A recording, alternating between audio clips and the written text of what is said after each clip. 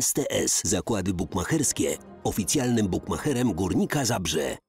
Czy pamiętasz swój pierwszy pobyt w Górniku? Jak pierwszą wizytę na stadionie w Zabrzu? Ona była dosyć ciekawa chyba, nie? Pierwszy pobyt na górniku.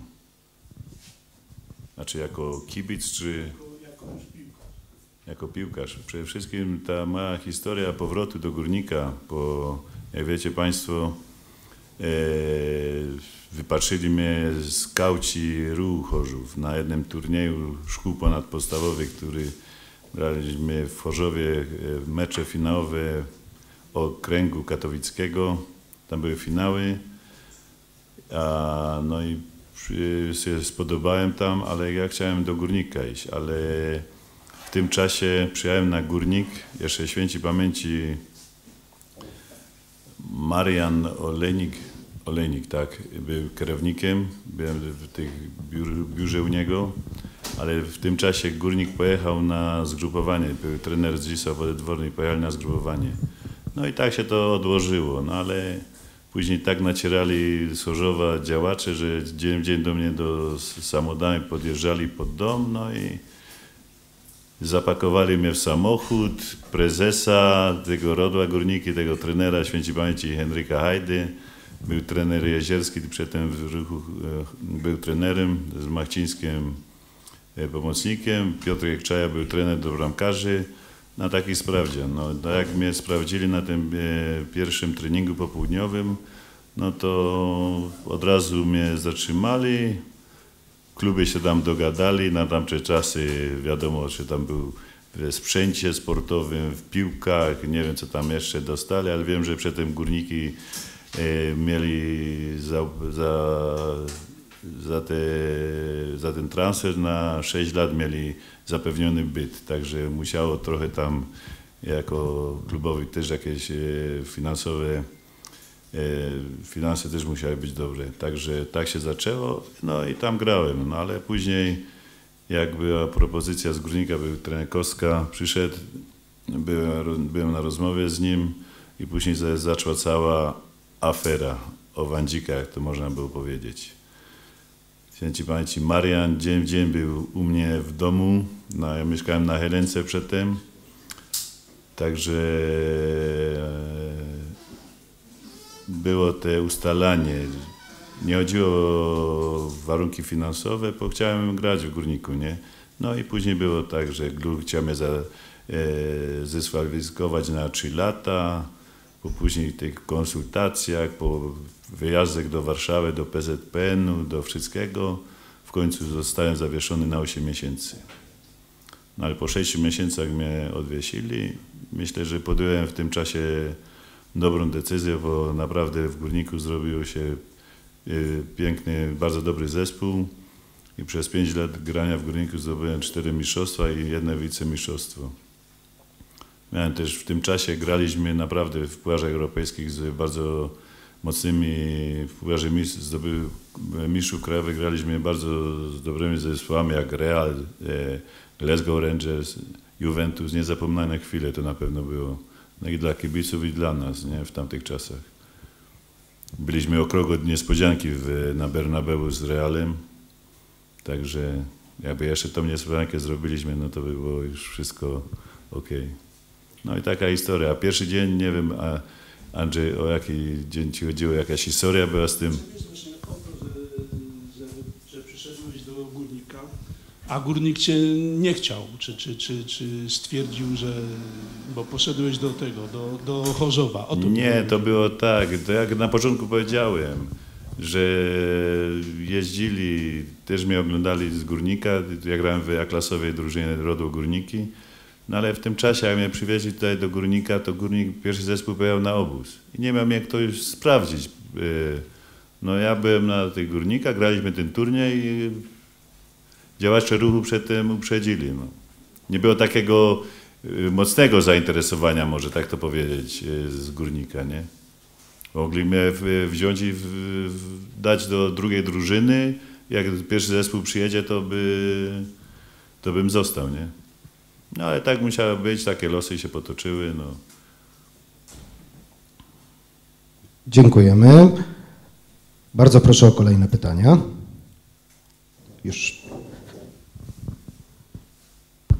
To muszę zapytać, bo to bo pan sam powiedział, że pan tu na meczach bywał z kolegami z Górnik, jak rozumiem. Gdzieś wyczytałem, że w tym czasie to się jeździło naturalna rzecz również na inne drużyny, na, na, na do Chorzowa też pan podobno jeździł na, na mecz, ale tu w samym Górniku to miał pan tego swojego idola na tej swojej pozycji? Kogoś, kogo pan szczególnie cenił przez te lata, kiedy pan był kibicem, zasiadał pan na trybunach? No ja jeszcze z tych czasów to jeszcze miałem też szczęście, że jeszcze widziałem w akcji Lubańskiego, Szołtysika, tą starą, wielką, wielkiego górnika. No ale później górnik miał zloty, upadki, także się widziało wszystko i te dobre chwile, i te słabsze chwile. Także byłem e, jako kibic miałem, e, miałem oglądałem ten wielkiego górnika i górnika, który jakby to powiedzieć nie był już e, taki mocny jak kiedyś był, nie? Tak jak w każdej drużynie sportowej, e, drużynie, drużyna czasem ma zlotki, czasem upadki, no i widziałem to wszystko, przeszedłem. A jak sobie powiedzieć na ruch, to na ruch nie jeździłem, także co do tego, na ruch nie jeździłem, bo jeździliśmy na górnik. Dziękuję. Bardzo proszę o E, kolejne. Na ruchu, przepraszam, na ruchu jednym, na jednym meczu byliśmy całą e, paczką całe, ale to grało ruch z górnikiem przed tym. Bardzo proszę pan Pa- Paweł Czado. Chociaż ruch, y, tyle lat grałem w ruchu, mam bardzo dobre wspomnienia, bo przez ruch się, y, w ruch zrobiłem te początki tej kariery mojej. Ja bardzo dziękuję tam tym wszystkim działaczom, trenerom, który, z którymi współpracowałem, bo oni naprawdę by, byli dla mnie bardzo w porządku, nie? I ty dużo zawdzięczam ruchowi.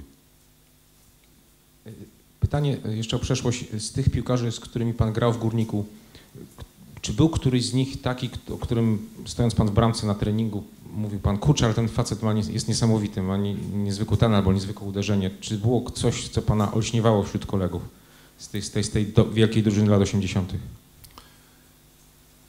Ja panu odpowiem no tak, że w tym czasie w Górniku mieliśmy taką paczkę takich zawodników dobrych e, piłkarsko, że na treningach graliśmy gierki między sobą, no to jakby to powiedzieć, e, piłka chodziła jak po sznurku. Także e, czasami więcej było, lepsze były gierki między nami niż na meczach. E, Mieliśmy święci pamięci prezesa Szlachty, to, to nam zrobił tak, że widział, że mogli, mieliśmy więcej po, do pokazania na boisku, to nam powiedział wprost, grajcie, a ekstra premie będą, jak drużyna będzie wygrała drużyną trzech bramek. Może Państwo przypominają się jakieś mecze 7-3, 6-1, 4-0, 5. To były mecze na górniku. Ze Szumbierkami 7-3 chyba, y, 8 ileś. To były takie mecze, bo mieliśmy jako taką zachętę. To później graliśmy, no to przeciwnicy, no, no, co wy tam robicie, skończcie już tego, no ale myśmy grali, no bo wiadomo, każdy gol był opłacany. To był jakiś taki bodziec dla nas wszystkich. Bardzo dziękuję. Proszę o kolejne pytania.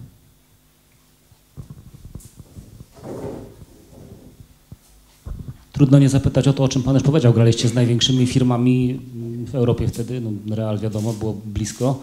Z Juventusem może trochę dalej, po drodze był jeszcze Anderlecht. Jakaś, jakiś szczególny wyjazd sportowo, ale też y, tam na miejscu, jak pan wszedł na to, nie wiem, na Stadio Santiago Bernabeu albo gdzieś w Brukseli, coś, coś takiego, co wyjątkowo do dzisiaj panu zostaje w głowie? No to na pewno. Y, Ja miałem to, te szczęście, pograłem w, jeszcze w reprezentacjach i młodzieżowej i juniorów, także trochę tych stadionów zwiedziłem. W tamtym czasie ja byłem na Mistrzostwach Świata drużyn do 20 lat w Meksyku, to dla mnie było przeżycie, jak graliśmy na stadionie Azteca w Mexico City, to był na 120 tysięcy. Y, Grałem też na innych stadionach, ale jednak jak się jedzie na Bernabeu czy na Glasgow Rangers w tamtych czasach, to było przeżycie fantastyczne.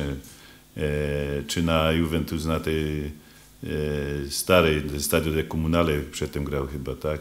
No to było jednak, jednak dla każdego jest za, za zaszczyt i przeżycie.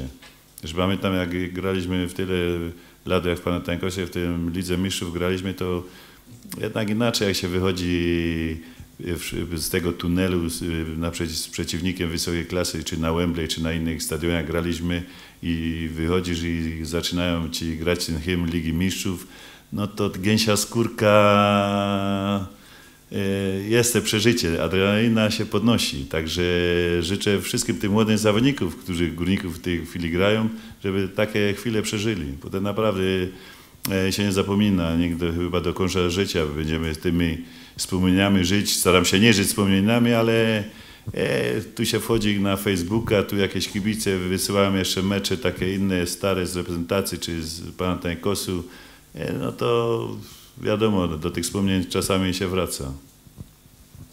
Dziękuję. Bardzo proszę o kolejne pytania. Ja bym prosił, abyś powiedział parę słów o swoim pierwszym trenerze w Górnikach, bo myślę, że to jest postać, która zasługuje na jakieś szczególne wyróżnienie i uznanie, prawda? Henryk Hajda, on Tak. się uk- ukształtował i w zasadzie znalazł. Tak. No to było tak, no ja grałem na Wrodle Górniki, no wszystko jak cała wieś, to graliśmy, jak nie byliśmy młodzi, to za bramką podawaliśmy piłki, jak grała pierwsza drużyna, czy na treningach. No, ale później zaczęliśmy grać w tej drugiej drużynie, tych młodzikach, tak przedtem się nazywały, tak, młodziki, chyba tak się nazywały w tamtych czasach. Później juniorzy, no i później miałem 14 lat, to już grałem w pierwszej drużynie. No, jak zacząłem środkowy napastnik, no, w szkole wszystkich na tych juniorach to byłem kruszelców, no, ale w jednym meczu jechaliśmy na wyjazd, a ja grałem z tymi starszy, starszymi, miałem 12 czy 13 lat, to graliśmy z y, drużyna, co grała Orkan Dąbrówka Wielka, pamiętam.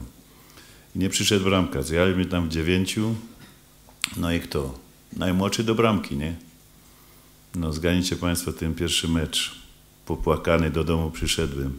Jaki wynik był? A tam Liga Juniorów, 18 lat, 17, takie byczki grali.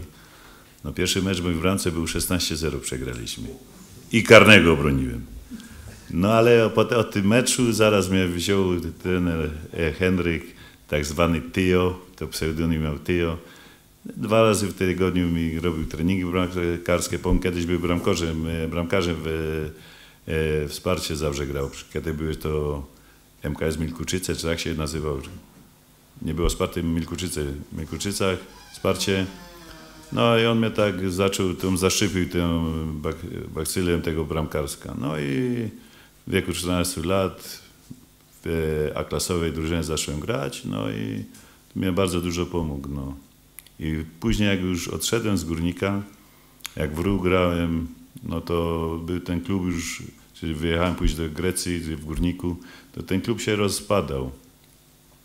No to jedyny to był taki facet, co jeszcze go trzymał. On był gospodarzem, prezesem, trenerem. Nie wiem, czy jeszcze jakiś zawód jest y, związany z sportem. Boisko, linię robił, no wszystko. No, no to myśmy to trzymali, no bo tam i wi- wiadomo, rachunki za wodę, za prąd, to, to myśmy ten klub tak utrzymali. No i później y, przez te lata, co w, Grecji grałem, no to wiadomo, zawsze ją tam e, jakiś sprzęt przysyłałem, jakie to. Zawsze był drużyna w A-klasie tyle lat grała, to zawsze mówili, no Górniki najlepiej ubrany zespół w A-klasie.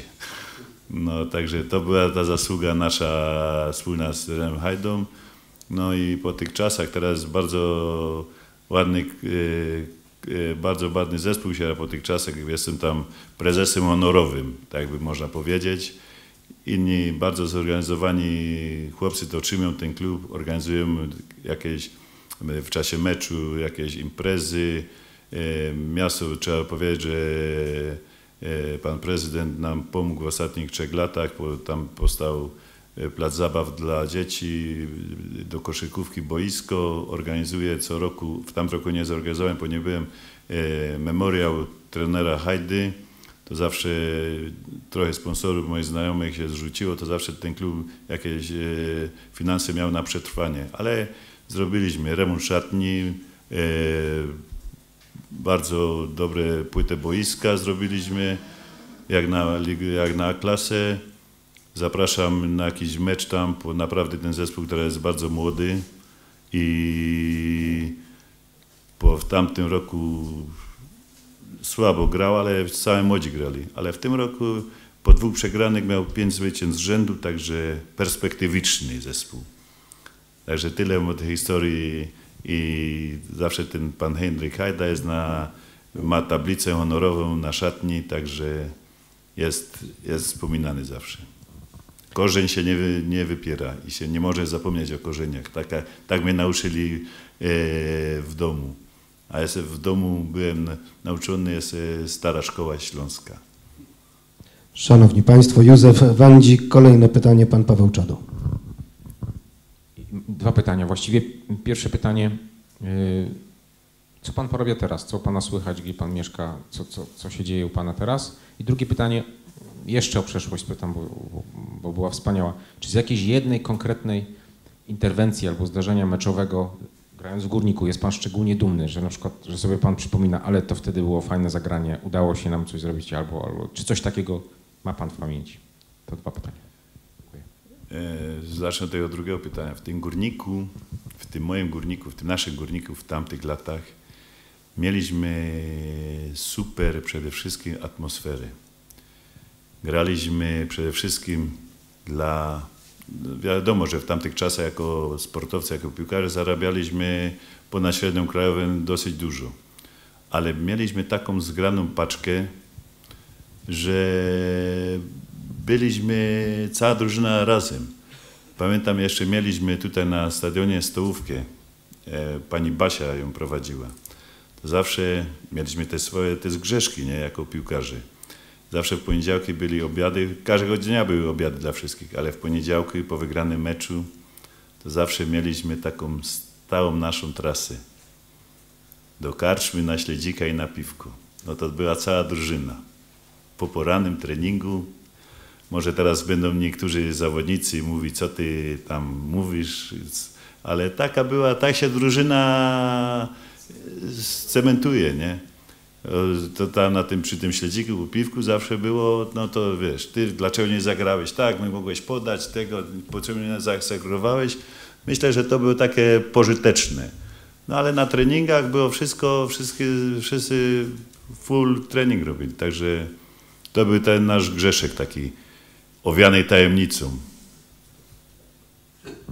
Drugie pytanie, co u pana teraz? A, co u mnie teraz słychać? No teraz ja jestem, pojechałem do Grecji na dwa lata, się zrobiło 28, no. Także e, teraz e, jestem trenerem bramkarskim i drugim trenerem w IT Sparta. To jest e, drużyna w Atenach, jedyna drużyna w Atenach, druga liga. Także tam mam trzy szkółki bramkarskie. No, jestem jeszcze w, innej, w jednej drużynie, którą ja pracuję, w, znaczy pracuję, jestem w firmie Admiral i Robert Kappa, który jest e, sprzęt sportowy na całą Grecję. To jest e, ze sportowym Admirale i Robert Kapy. To jest e, firma, która się z trzech sklepów na całą Grecję w tej chwili ma 130 plus 60 franchise'ów. Także do 200 sklepów dochodzi na całą Grecję, Bałkany, Cypr i, i Krety. Także jestem tam w promocji. Od y, tylu lat znam tych właścicieli. Także y, jestem doradcą, bo ten właściciel klubu wziął jeden A-klasowy klub. No, może w, w ciągu dwóch, trzech lat, jak będzie miał wytrwałość, ten klub może awansuje do trzeciej ligi, być może do drugiej, bo tam z A-klasy w Grecji zrobili e, taką, e, e, zrobili, że nie ma już czwartej ligi.